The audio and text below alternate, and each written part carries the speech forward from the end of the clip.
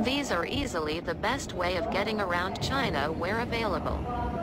The trains are clean, comfortable and modern. Seating is comparable to that in an airplane. Most tickets are for assigned seats.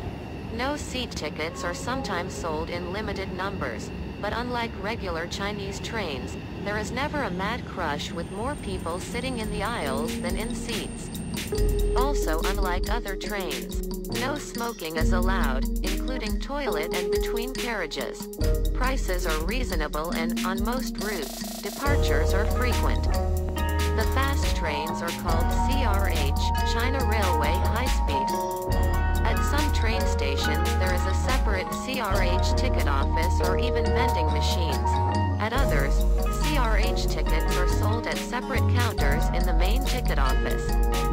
In either case, just look for the CRH signs or logo. Note that non-Chinese can no longer use the vending machines.